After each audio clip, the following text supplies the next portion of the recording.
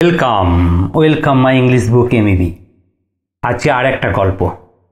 আজকে আমরা সুচিত্রা ভট্টাচার্যের গল্প তো সুচিত্রা ভট্টাচার্য ভারতীয় বাঙালি সাহিত্যিক হিসেবে এক স্বনামধন্য নাম, আমরা সবাই জানি। সুচিত্রা ভট্টাচার্য তার হেমন্তের পাখি, কাছের মানুষ, অলিক সুখ, ইচ্ছে কাচের দেওয়াল, প্রভৃতি উপন্যাসের জন্য চিরস্মরণীয় হয়ে আছেন। তার দহন গল্প অবলম্বনে উনিশশো সাতানব্বই সালে পরিচালক ঋতুপর্ণ ঘোষ সিনেমা তৈরি করে। পরবর্তীকালে আমরা দেখতে পাই ইচ্ছের গল্প, অলিক সুখ রামধনু রং এবং মিতিন মাসিকে নিয়ে অনেক সিনেমা তৈরি হয়েছে। আজকের এই গল্পটি হাসি মজা ডট কম থেকে নেওয়া হয়েছে। তো আজকের গল্প আমরা শুনব ভুলের মাসুল। গল্পের নাম হচ্ছে ভুলের মাসুল। ভর দুপুরে বাড়ি ফিরছিলেন নন্দদুলাল স্কুল থেকে হাফ ছুটি নিয়ে পরিমরি দৌড়চ্ছেন। কি যেন একটা জরুরি কাজ আছে বাড়িতে। কিন্তু কাজটা যে কি, এই মুহূর্তে মনে করতে পারছেন না কিছুতেই। ইদানিং এই এক ফ্যাসাদ হয়েছে। নন্দদুলালের স্মৃতিশক্তি বড় বেশি বিশ্বাসঘাতকতা করছে আজকাল। এমনিতেই আলাভোলা বলে বরাবরই একটা অখ্যাতি আছে তার।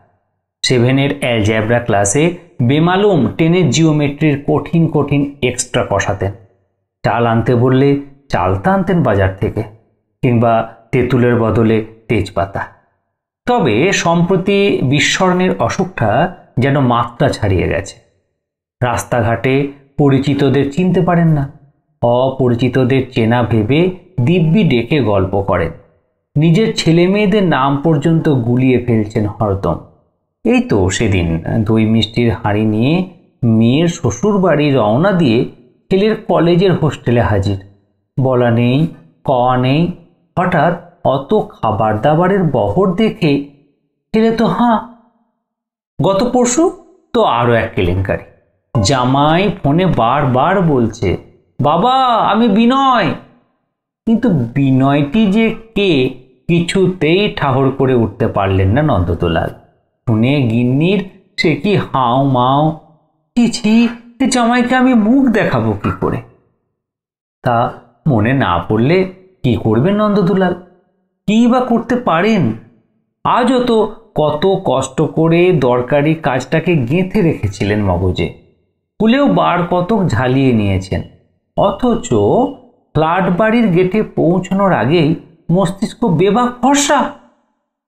চৈত্র মাস ঠাঠা রোদ্দুর, রাস্তায় জনমনীষী নেই রিক্সার ভাড়া মিটিয়ে নন্দদুলাল ঝুম দাঁড়িয়ে রইলেন একটুক্ষণ। আর একবার খোঁচালেন মগজটাকে। গিন্নি আজ বাপের বাড়ি গেছেন। ফ্ল্যাট পাহারা দেওয়ার কথা ছিল কি? অন্য কিছু, অন্য কোনো কাজ। গোল্লায় যাওয়া স্মৃতি শক্তিটাকে মনে মনে গাল পারতে পারতে গেট ঠেলে কম্পাউন্ডে ঢুকলেন নন্দদুলাল। কপালে ইয়া মোটা মোটা ভাঁজ ফেলে সিঁড়ি ভাঙছেন। চারতলায় পা রেখেই থমকে গেলেন আচমকা। তাদের ফ্ল্যাটের দরজায় কেউ? বছর পঁচিশের এক যুবক ঝুঁকে কি যেন করছিল দরজায়। লিকলিকে রোগা মধুকুলকুলি আমের মতো মুখ। পরনে কুচকুচে কালো ফুল প্যান্ট ক্যাটকেটে সবুজ টি শার্ট হাতে নানা মাপের স্ক্রু ড্রাইভার মানুষের সাড়া পেয়ে চমকে ফিরল ছেলেটা। হাত পিছনে করে যন্ত্রপাতি লুকোচ্ছে। কিমাশ্চর্যম সঙ্গে সঙ্গে নন্দদুলালেরও মনে পড়ে গেল, আজ টিভির মেকানিক আসার কথা ছিল বটে। পাছে লোকটা ফিরে যায়, তাই তাকে একটু চটপট আসতে বলেছিলেন গিন্নি। নন্দদুলালের মুখে হাসি উপচে পড়ল হো, তুমি তাহলে এসে গেছো? ছেলেটা কেমন যেন সিটিয়ে গেছে। আমতা আমতা করে বলল, আগে না মানে মানে আমি বুঝে গেছি। কেউ নেই দেখে নিজেই দরজা খুলে ঢুকে পড়ছিলে। নন্দদুলালের স্বরে শিক্ষকের সুর, তোমরা এখনকার ছেলেরা কি বলো তো? একটু অপেক্ষা করার ধৈর্য নেই। ছেলেটা অতবদন ঢোক গিলছে। অন্যায় হয়ে গেছে, স্যার। এবারকার মতো মাফ করে দিন। ঠিক আছে ঠিক আছে। এরকমটা আর কোনো বাড়িতে গিয়ে করো না। স্ক্রু ড্রাইভার দিয়ে খোঁচালে দরজার লক নষ্ট হয়ে যায় বলি পকেট থেকে চাবি বের করে দিলেন নন্দদুলাল নাও, খোলো। ছেলেটা চাবিতে মোটেই উৎসাহী নয়, তাকাচ্ছে এদিক ওদিক। হঠাৎই শুরুত করে ঘা মারার চেষ্টা করল। অমনি নন্দদুলাল খপ করে তার কবজি চেপে ধরেছেন কড়া গলায় বললেন কাজ না সেরে কেটে পড়ছো যে বড়? আজকের মতো ছেড়ে দিন, স্যার। ছেলেটার মুখ কাঁদো কাঁদো। দয়া করুন, স্যার। সিন ক্রিয়েট করছ কেন? এসেই যখন পড়েছো, কাজটা সেরেই যাও। দরজা থেকে চলে গেলে তোমার মাসিমাকে আমি কি কৈফিয়ত দেব? আমার মাসিমা? হ্যাঁ হ্যাঁ আমার গিন্নি। তোমার জন্যই তো তিনি আমায় চটপট আসতে বলেছিলেন। বলতে বলতে নন্দদুলাল চাবি ঘুরিয়ে দরজা খুলেছেন। টানলেন ছেলেটাকে, এসো, ভেতরে এসো। ফ্ল্যাটে ঢুকেও ছেলেটা জড়সড় দাঁড়িয়ে সোফায় শরীর ছেড়ে দিয়ে নন্দদুলাল বললেন, কি হলো? বসো। বসবো? অবশ্যই। যত নগণ্য কাজেই তুমি আসো না কেন, তুমি এখন আমার অতিথি, আর অতিথির সমাদর করা গৃহস্বামীর কর্তব্য। কি বুঝলো কে জানে? ছেলেটা হাতু কেতরে বসল সোফায়। পিট পিট চোখ চালাচ্ছে ফ্ল্যাটময়। নন্দদুলাল গলা ঝাড়লেন। এবার তোমার সঙ্গে ভালো করে আলাপ পরিচয়টা সেরে ফেলা যাক। নাম কি তোমার?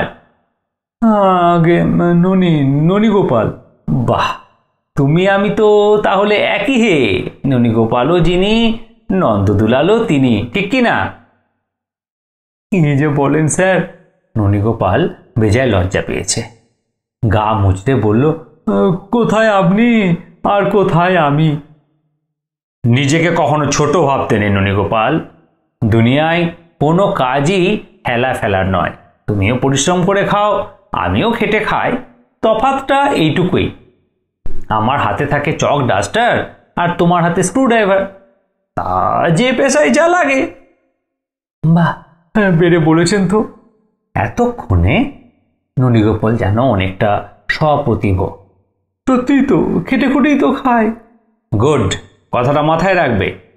নন্দ নন্দদুলাল নড়ে চড়ে বসলেন। তা কদিন আছো এই লাইনে? আগে প্রায় বছর পাঁচেক। হাত মোটামুটি পাকা তো? ননীগোপাল হোঁস করে শ্বাস পেল প্রমাণ দেওয়ার সুযোগ পেলাম কই, স্যার? বটে, দাও প্রমাণ। দেখাও তোমার কেরামতি। তেমন একটা হেলদোল দেখা গেল না ননীগোপালের। বসে আছে গ্যাঁট হয়ে। নন্দদুলাল তালা লাগালেন। কি হলো? শুরু করে দাও।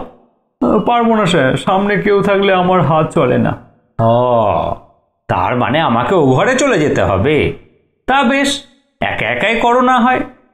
তার আগে দুজনেই তেতেপুরে এসেছি। চলো, একটু জল টল খেয়ে নেই। শরবত চলবে? তা একটু হলে মন্দ হয় না। গলাটা বড্ড শুকনো মেরে গেছে। আহা, জলজিরা খাবে না আমের সিরাপ? গরিব মানুষের অত বাছা বিচ্ছি করলে চলে সে? দিন, যা হোক।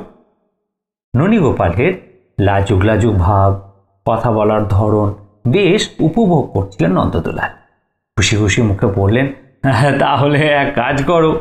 উঠে গিয়ে ফ্রিজ খুলে আমের সিরাপটাই বের করো। সঙ্গে ঠান্ডা জলের বোতল। রান্নাঘরে কাচের গ্লাস আছে। পরিমাণ মতো মিশিয়ে নিজেই বানিয়ে ফেলো দেখো দেখি। রান্নাঘরে কাছের গ্লাস আছে। পরিমাণ মতো মিশিয়ে নিজেই বানিয়ে ফেলো তো দেখি। আর হ্যাঁ যদি মানে না লাগে, আমাকেও এক গ্লাস দাও। কি বলছেন স্যার? আপনার সেবা করার সুযোগ পাচ্ছি। এ তো আমার পরম সৌভাগ্য। লাফিয়ে সোফা ছেড়ে বিড়াল পায়ে ফ্রিজের কাছে গেল গোপাল গ্লাস, জল, সিরাপ, ঠিকঠাক খুঁজে নিয়ে দু গ্লাস শরবত নিমেষে প্রস্তুত। একটা গ্লাস নন্দদুলালকে ধরিয়ে দিয়ে গদগদ মুখে বলল, আপনার মতো মানুষ আমি দুটো দেখিনি, স্যার। লোকে আমাদের সঙ্গে কি ব্যবহারটাই না করে। আর আপনি কি না এই দিনহীনকে তরিজুত করে শরবত খাওয়াচ্ছেন? আমার চোখে সব মানুষই সমান ননি। গর্বিত মুখে গ্লাসে চুমুক দিয়ে নাক পুচ বলে নন্দতলা। আহ, শরবতটা ঠান্ডা জলে বানাওনি? জল শীতল হয়নি, স্যার। ফ্রিজ বন্ধ। বাহ, তুমি তো বেশ শুদ্ধ ভাষা বলো। পড়াশোনা কতদূর করেছ? আগে ক্লাস এইট। ছেড়ে দিলে কেন? অভাবে তাড়নায় স্যার জঠোর জ্বালা, মক্ষম জ্বালা, তা অবশ্যই ঠিক নন্দদুলাল মাথা দোলালেন। তো শুধু এই কাজটাই জানো নাকি অন্য কিছুও শিখেছ? পিচিক করে এক চিলতে হাসি পিছলে গেল ননীগোপালের ঠোঁটে। আগে সূক্ষ্ম কাজও কিছু কিছু জানা আছে, স্যার। কীরকম? মিং, পাসিং, ধরুন যে কোনো জিনিস, মুঠোয় নিলাম, দুবার শূন্যে হাত ঘোরাবো, ব্যাস। জিনিসটা ভ্যানিস বলো কি হে, ম্যাজিকও জানো? যে যে নামে ডাকে, কেউ বলে ম্যাজিক, কেউ বলে হাত সাফায়। অম্লান বদলে বলল, নরিগোপাল, আমার গুরু বলেন, এসব কাজে আমি নাকে, তাকেও টেক্কা দিয়েছে। তাহলে তো একবার দেখতে হয়। দেখাতেই পারি, কি সরাবো বলুন? গ্লাস থেকে চামচখানা তুলে এগিয়ে দিলেন নন্দদুলাল। এটাকে হাওয়া করো দেখি। বাঁ হাতের চেটোয় চামচ রাখল ননীগোপাল। ডান তালু দিয়ে চাপা দিল বাঁ হাত। তারপর দুটো হাত একসঙ্গে করে শূন্যে ঝাঁকালো খানিক। হঠাৎ ঝাম করে দু থেকে দু হাত ছড়িয়ে দিয়েছে। দেখুন স্যার, চামচ নেই। নন্দদুলাল শিশুর মতো উল্লসিত, তাই তো তাই তো। আর কি ভ্যানিশ করতে পারো? একটা থালা এনে দেবো? অত বড় জিনিসে অসুবিধা আছে স্যার। বললাম না এ অতি সূক্ষ্ম কাজ জিনিসটা ছোটখাটো হবে দামি হবে তবেই না হাত চলবে। ছোট অথচ দামি। নন্দ নন্দদুলাল ভাবনায় পড়ে গেলেন কি রকম বলো তো? এই ধরুন গিয়ে মাসিমার কানের দুলটুল হাটটার কিংবা আংটি টাংটি আঙুল থেকে সোনার আংটি খুলে দিলেন নন্দদুলাল। মুঠোয় চেপে মাত্র দুবার ফু দিল ননীগোপাল। মুঠো খুলতে আংটিও দাও উৎসাহিত হয়ে ড্রেসিং টেবিলের ড্রয়ার থেকে গিন্নির মুক্তোর দুল জোড়া এনে দিলেন। কয়েক সেকেন্ডে দুল অদৃশ্য। উত্তরোত্তর চমৎকৃত হচ্ছেন নন্দদুলাল। আলমারি খুলে বের করে আনলেন সোনার বোতাম, সোনার চেন, রূপোর খুদে, সিঁদুর কৌটো। নিমিষে মিলিয়ে গেল সব। আস্ত একখানা সোনার বালাও যখন কর্পূরের মতো উবে গেল, নন্দদুলালের চোখ তখন ঠিকরে বেরোয় আর কি। আপ্লুত স্বরে নন্দদুলাল বললেন তুমি তো আইনস্টাইনকে ঘোল খাওয়ালে হেনুনি মাসকে তুমি এনার্জিতে পরিণত না করে নিশ্চিন্ন করে দিচ্ছ। আইনস্টাইন ননীগোপাল চোখ কুঁচকালো তিনি কে? আমাদের লাইনের কেউ? তিনি একজন মহান বিজ্ঞানী। তবে তুমিও লাজবাব, তোমারও তুলনা নেই। আপনি মহান বলে কদর দিলেন, স্যার। হুম, তা এবারে জিনিসগুলো ফেরত এনে দাও। অপরাধ নেবেন না, স্যার। ননীগোপাল ফিচেল হেসে ফেলল। অর্ধেক বিদ্যা সবে আয়ত্ত করেছি, স্যার। বাকি অর্ধেক মানে ফেরত আনা এখনও শেখা হয়নি। এ তো ভালো কথা নয়। নন্দদুলাল অসন্তুষ্ট হলেন। কোনো কিছু শিখতে হলে পুরোপুরি শিখবে। আধা খেজরা জ্ঞান নিয়ে চক্র বুয়ে অভিমন্যুকে মরতে হয়েছিল। সে খবর রাখো। পরের বার যেন এমন ওজন না শুনি বুঝলে? জি আগে স্যার। ননীগোপাল হাসি মুখে উঠে দাঁড়াল। আজ আজ তাহলে আসি? সে কি? এখনও তো আসল কাজেই হাত দাওনি। বললে একা বসে করবে আর জিনিস হাত না ছুঁয়ে পালাচ্ছ? নন্দদুলাল ধমকে উঠলেন। আমি ও ঘরে গিয়ে শুচ্ছি তুমি ততক্ষণ টিভিটার গতি করে ফেলো। এই টিভিটা? হ্যাঁ দামি রঙিন টিভি সাবধানে হ্যান্ডেল করো। আর দেখো গোটা ঘরে স্ক্রু ট্রু ছড়িয়ে রেখো না তোমার মাসিমা রাগ করবেন। আবার চোখ পিটপিট করছে নলিগোপাল। ঘাড় চুল করছে আচমকা শুটকো চেয়ালে কান এটো কর হাসি। খোলাখুলি ঝামেলা না করে টিভিটা যদি নিয়েই যায়, স্যার। নিয়ে গিয়ে মেরামত করবে। উত্তম প্রস্তাব, কিন্তু কাঁধে করে ধারি জিনিসটাকে বয়ে নিয়ে যেতে পারবে? হ্যাঁ একটা রিক্সা ডাকবো, স্যার। Good idea. তবে রিক্সা ভাড়াটাও তো তোমাকে আমার দিয়ে দেওয়া উচিত। ফস করে মানি ব্যাগ থেকে একখানা একশো টাকার নোট বের করলেন নন্দদুলাল এটা রাখো। ডেলিভারি দেওয়ার সময় তোমার মাসিমার সঙ্গে হিসেবটা প্লাস মাইনাস করে নিও। রিক্সায় টিভি চাপিয়ে ননীগোপাল বিদেয় নেওয়ার আধ ঘন্টাও কাটেনি। দরজায় বেল। নন্দ দুলালের গিন্নি ফিরে এসেছেন বাপের বাড়ি থেকে। সঙ্গে মোটা সোটা চেহারার এক বছর ত্রিশের লোক। অবাক মুখে নন্দদুলাল বললেন "তু- তুমি তুমি এত তাড়াতাড়ি? তোমার উপর ভরসা করে সুস্থির থাকা যায়? কোনো রকমের নাকে মুখে গুজেই বেরিয়ে পড়েছি। নন্দদুলাল গিন্নি ঘাম মুচ্ছেন পাড়ায় ঢুকে দেখি ইনি দোকানে গালে হাত দিয়ে বসে আছে। তুমি নাকি ওর ছায়াও মারাওনি? উনি কে? আরে ফ্রিজ মেকানিক, পই পই করে তোমায় বলে যায়নি? স্কুল থেকে তাড়াতাড়ি ফিরে একে ধরে আনবে। এই গরমে ফ্রিজ খারাপ থাকলে কত অসুবিধা হয়, সে হুঁশ তোমার আছে? নন্দ দুলালের মাথায় হাতে হে ভুলটা এবার বেশি মারাত্মক হয়ে গেছে।